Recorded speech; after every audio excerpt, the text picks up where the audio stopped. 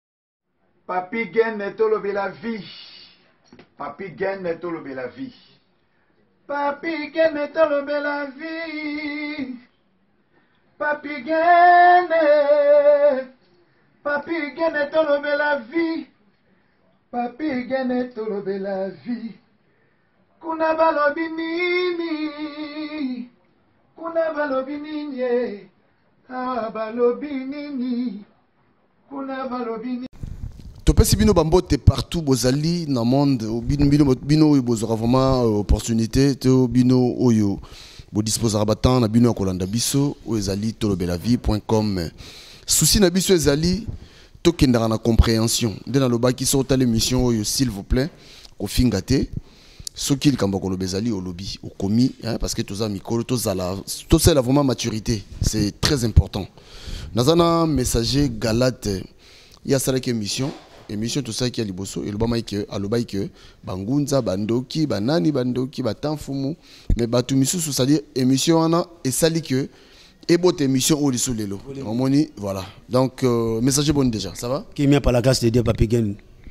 ndenge oza komona tokutani lisusu tozoloba toza na baservice ya bazairoi mpo bakoma bacongolais yango mboka mpe ekangami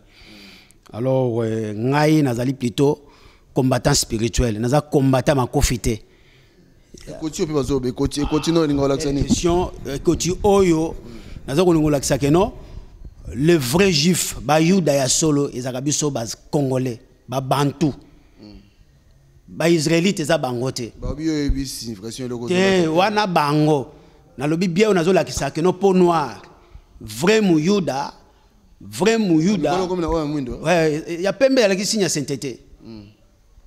Galate 4:16 wana elakisi sinya ya pembe ya noir elakisi identité ya, ya po, po noir véritable muyuda ezalaka race noire mm. bango nde bayiba bachangea histoire alo lokola comprendre histoire eh, na récupéré masolo mm. voilà messager tosalaki émission euh, oyo nalobi eboti émission oyo balobi explication na bato bacomprendre te donc là jusque là oconfirme toujours que ntanfumu aza ndoki eh, mando naza ndoki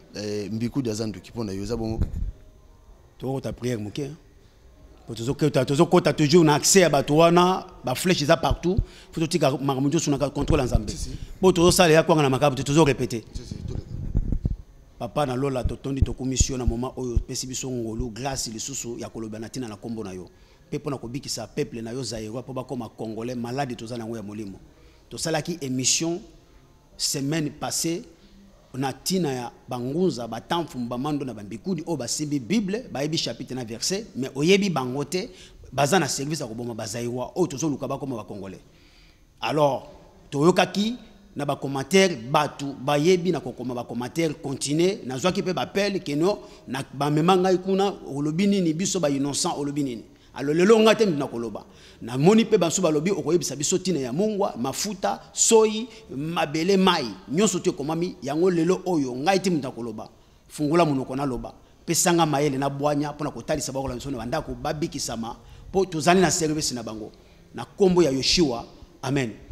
donc ntango fumu ndenge alataka liputa pona yo so alati liputa bongo donc kindoki nyonso yango déjà nalobaki bien semaine elekaki nakokaki kotanga ekolo mpenza oyo epai ba batanfumu bangunza mpe babima te ngunza tanfumu azali mwana ngunza eza lokola na bapotre bazali hmm. eza lokola bapaster bazali hmm. eza lokola badiake bazali na ministère hmm. tozomona babishope babishope bango mpe ezali bakalite ya bakombo na bango ngunza tamfumu mandona binkudi zebola me baza na service ya male ya butu bazali banani badesanda ya banani d'origine na bango eza wapi d'origine na bango ezali les anges déchus oyo baangelu oyo ya motuma ngongi oyo nzambe abwakaka na se babima na basi normal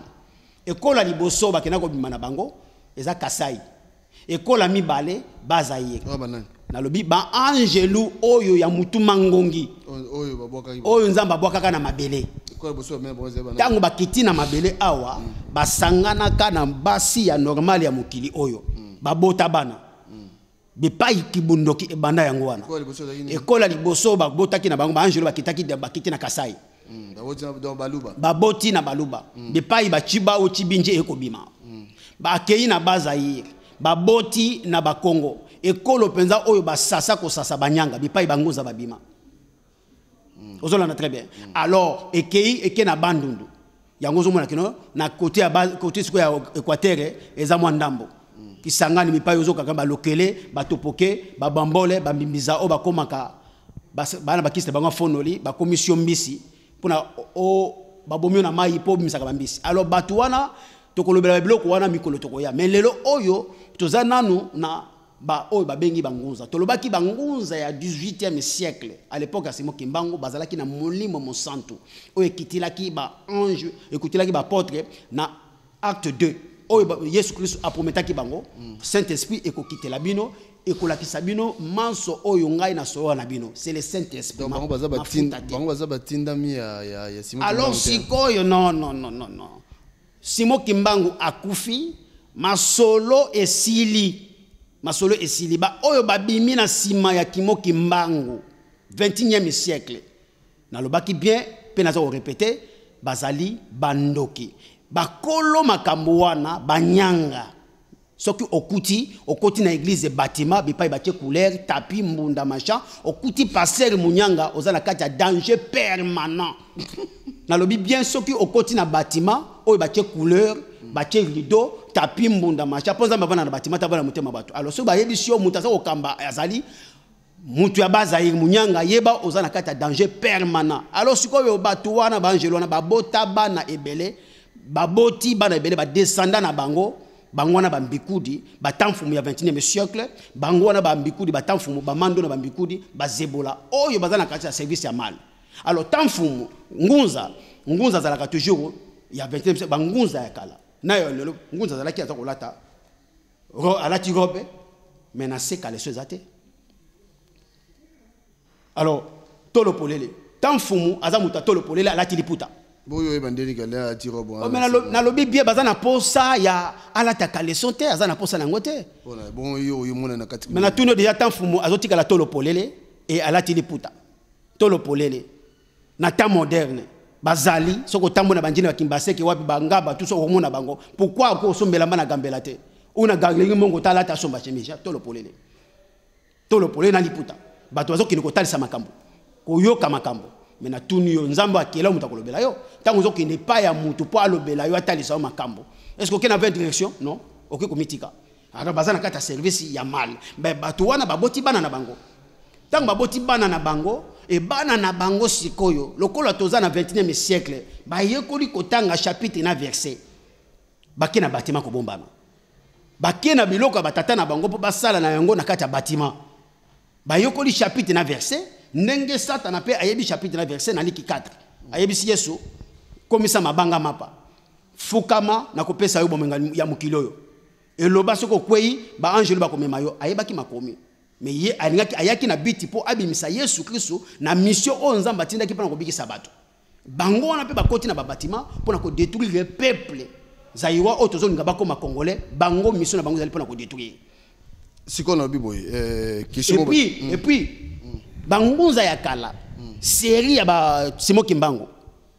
na kati ya village soki ngunza koya par exemple na masi palezo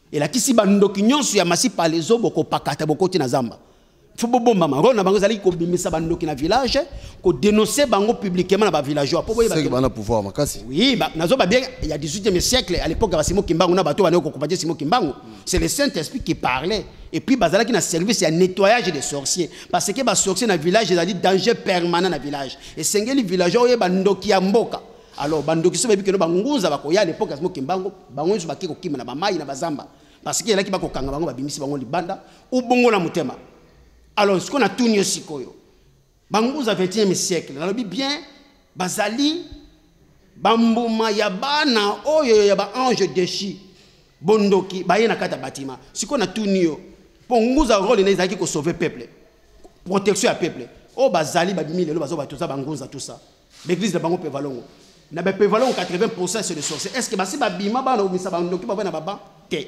basi ba kenda ba dénoncer yo ndoki po ngunza véritable ngunza mwana na nzambe tango moni mo santu yaka tango yo moni ba ndoki obimisi bikelo telema bongola mutema na yo basala yango basala yango te non kombo wana ngunza ingela ksani ngunza ingela ksani eh kombo wana ngunza ngunza mm. Euh, kombo ya ngunza euh, comment je dirais kombo ya bangunza nako définir yango euh,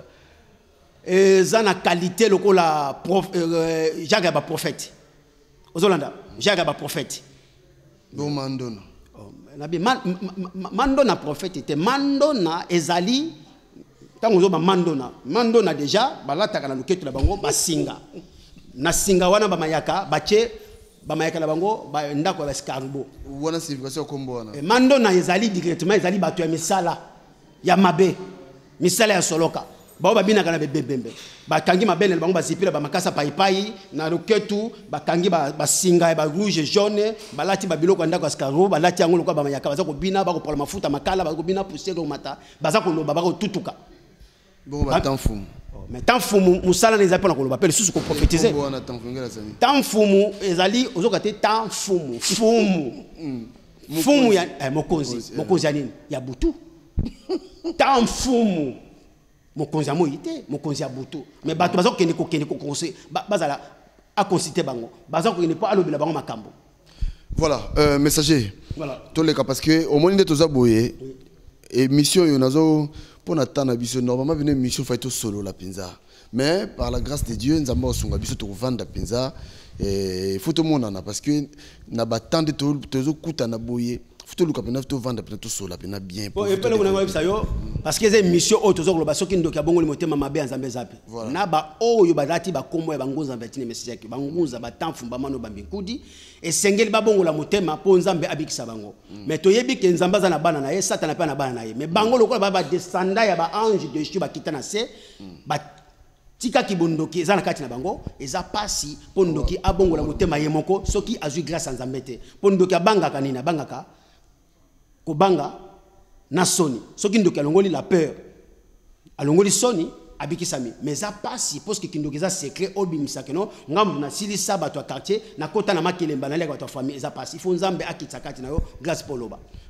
Voilà, mutu moko atunaki yo mutu na lobi euh, je crois je crois comment mutu nango alobi ba mungwa ba pesa une explication nango rapidement pona na émission to salaki na lobi bien émission oyo ezali soki ndoki abongoli motema mabe ya Nzambe eza wapi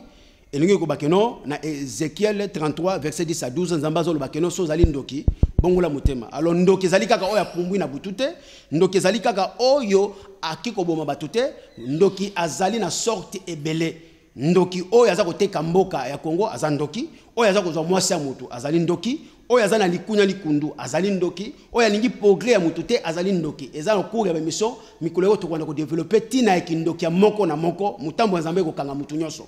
Alors ba sœurs babengaki ngai na mosusu bakomeli ngai na expliquer bango na oyo etali l'huile saint na Exode 30 verset 22 à 38. eza na ancien testament l'huile oyo baza kolobela na aaron na libota na ye aaron d'origine aza levite ndeko ya moïse baza balevi alors bazalaki na loi mibeko alors basaleli mibeko na mibeko epesi lobiko te ezalaki l'huile oyo baki kobuka ya l'huile d'olive oyo bakotya bilembo lelo oyo alors euh, epesi lobiko te lokola ezalaki loi ancien testament biso tozali bato ya nouvelle alliance alors nouvelle alliance elobi nini na jean 1 verset 12 à tous ceux qui l'ont accepté yoshua à tous ceux qui ont cru par son nom il a donné l'ordre de devenir d'enfant de dieu na baoyo nyonso balimbeli yesu kristo na baoyo nyonso bayambi ye na bomoi na bango apesi mitindo bokoma bana na nzambe alobi te na baoyo nyonso bazwi mafuta c'est-à-dire ye azali mibeko te ye aye na grâce alongoli tokei alongoli biloko nyonso ya ancien testament mpo ye azali nouvelle alliance tokei na jean 1 verset 17 alobi la loi a été donnée à travers moïse Mais la grâce et la vérité est venue en Jésus-Christ de Nazareth. Mibeko eyaki bapesaki mibeko na nzela na Mose. Mais ngolu na sembo eye na nzela na Masiya na tuni yo mibeko mibeko ebikisaka moto. Non. Ngolu moto ebikisaka moto na sembo. Alors ngolu na sembo nde yango na nouvelle alliance ezosumaka mama mafuta te. Alors l'épreuve en est sikoyo pona ndeko oyo atuni mutuna ya Exode 30, verset 22 à 38. Ozali na temps présent, oza mwana nouvelle alliance, ozali mwana ya grâce, ozali mwana ya Jean 1, 17. Ozali mwana ya Jean 1, verset 12.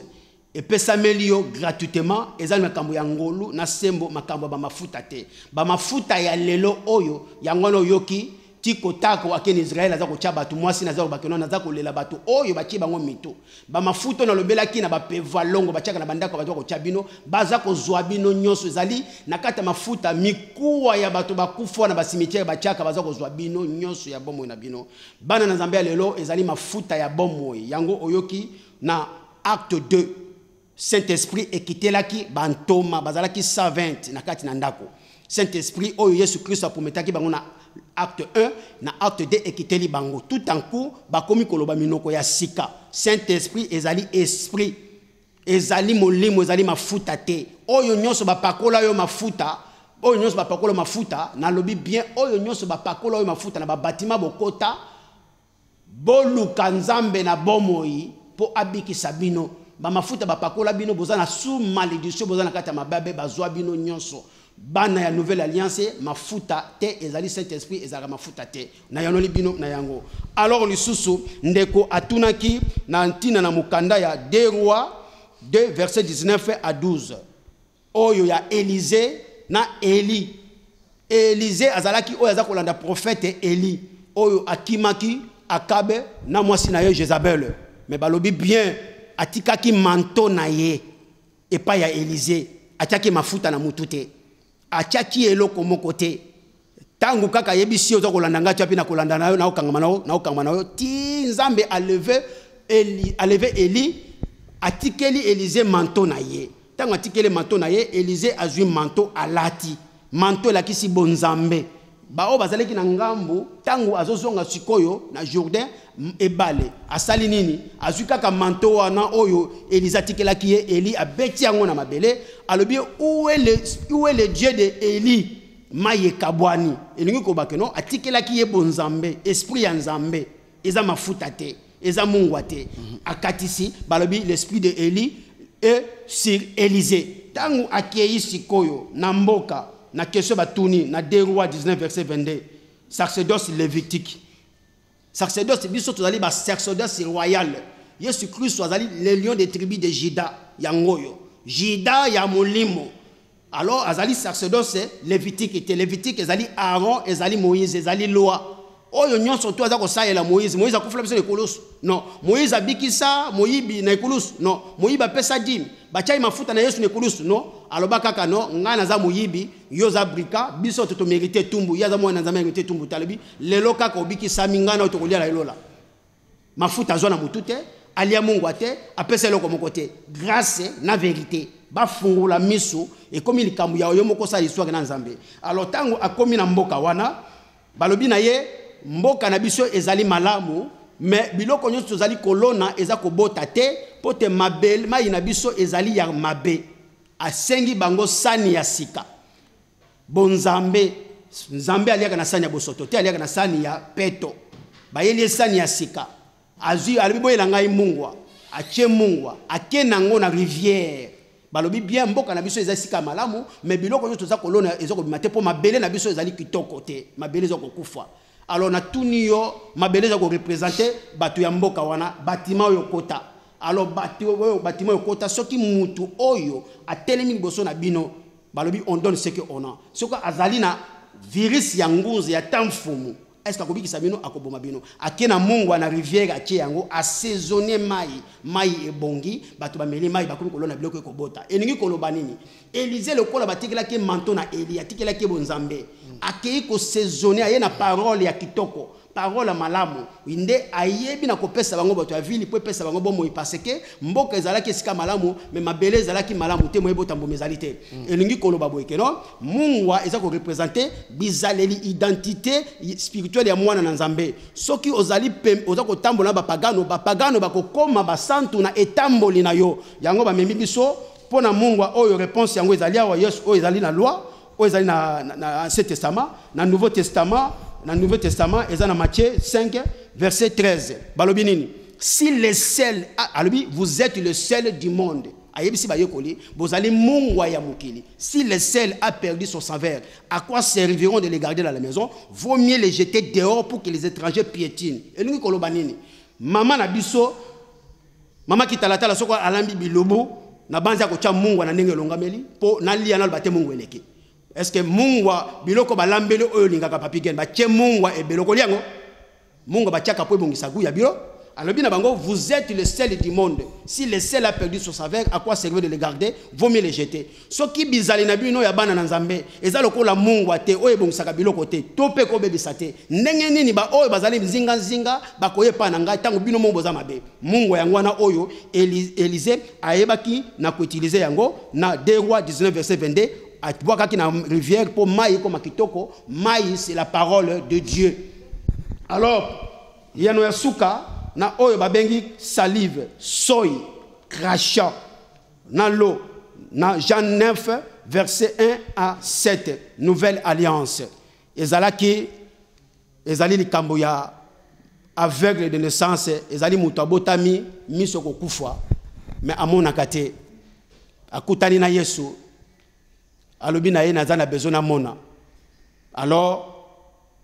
ba parents na ye uta babota ye atikala komona te me akutani na maître yoshua alobi namona azwi soi na ye abwaki na mabele asali yango blule moko ya neti sema bule azwi apakoli ye na miso epres ayebisi yo ozosala nini omoni nini alobi na bandi komona mwa ndambu ndambu abimisi ye na ngambo lisusu pembeni ya mboka abi omoni nini alobi naza komona sikoyo malamu elingi koba nini soyi soyi c'est la parole pourquoi abwakaki soyi eza kopresente parole ya bomoi oyo yesu kristo azalaki nango pourquoi ayebaki na kokrache na mabele mabele elakisi tonatire na biso towuta na mabele esengeli délivrance ekende na source délivrance ebandaka na source bipai maladi ebandi alors soki obeli monganga akoyebi soki onosala baexame mpo ayeba maladi ozali kobela esengelaki bamema makambo na ye na mabele ake na mabele bipai moto auta na mabele akozonga na mabele nde mpo ayeba maladi na ye afungoli ye misu ezali misu ya mokili oyo te ezali misu ya molimo yango alobi na liki 4 oyo tolobaki na verset 18 ya 19 abiki no na ye mpo nafungola bato miso bamonaka te bamona elingi loba nini baveugle tozoloba kino babima na babatima nzambe azali te afungolaki nde miso ya molimo me lokola ezalaki miso ya molimo bafarisien bafarisien na bascribe bamoko ya bachatumba mpo chatumba aza modele mpo na bango baza kolinga kondima te me aza modele mpo na bango babima na pwasa balanda ye alors batelemelaki yesu amen batelemelaki yesu ntango hmm. batelemeli garso wana babi o oh, nani afungoli miso abi te moto afungoli miso abi na ngai nakende koglorifie nzambe alors baza kokontinue bakokontinue ti batuni bapara na ye est ce que ya solo mwana na bino aza mpenza aveugle abi oui oyo biso toyebi tobota ye aveugle mais moto afungoli miso toyebi te aza mokolo botuna ye moko akoloba babangaki parce que bakobengana bango na temple bakobengana bango na bamaison na bango bambikudi oyo esali maboko ya bato alors mwana wana akuta na bango sabi mais bozo kondima te kenon afungoli nga miso ngai oyo naza komona alobi na bango avant j'étais aveugle mais maintenant je vois elingi koba nini li avant bobandi kokosa ngai na badimi oyo ezalaki loi avant bozo kokosa ngai na bofrande oyo ezalaki loi ngai nakomi moto ya grâce na vérité ya jean 1 17 alors yango yoki na jean 9 wana na verset 31 balobi dieu n'exorce pas les prières d'un pécheur en revanche si tu l'honore tu fais sa volonté il va t'exaucer nzambe ayanolaka losambo ya moto ya masumu te soki osali mposa na ye akoyanola yo mposa ya nzambe ezali ete nguza ta mfumu mandona binkudi zebola oyo boza komomba bazairois bolingi te bakoma bacongolais bobongola motema nzambe akobikisa bino epuis yo zairois tika likunya likundu lona bolingo okay. lona bolingo voilà. lona bolingo tika likunya likundu tokomi na suka congolais voilà merci oyo tokoki koyanola bino yango wana émission ezali kocontinue ezali kocontinue pour la semaine prochaine nzambe abomba abatela bino et bon dimanche na bandako na bino saint esprit evisite bino bozala renouvelé de l'esprit et de l'intelligence voilà tokomi na suka je crois euh... Emission ezo continuer, toko yamba encore messager nde tolobi et mokolo mosusu mpe ezali tokovanda mpenza débat mpo na makambo oyo mpo il faut vraiment tokende nango tozokota na bainterdit ndunda koko te na batima te voilà te tosolon semaine prochaine donc d'ici là portez-vous bien restez connecté na tolobe la vie soki ya kokoma ezali komela biso na se wana na ndenge ya bien kofinga biso te kofinga mpe ndeko euh, inter, euh, intervenant na nga te kofinga ye te parce que so ofingi ye akochange na ye mpe te malamu okomela ye akoyoka tosilisi pardon mama kitalatala toujours mabolongo na makolo ya masiya beatrice bongeli merci parce que opesanga monduki ya solo oyo eleki olo na palata merci voilà merci beaucoup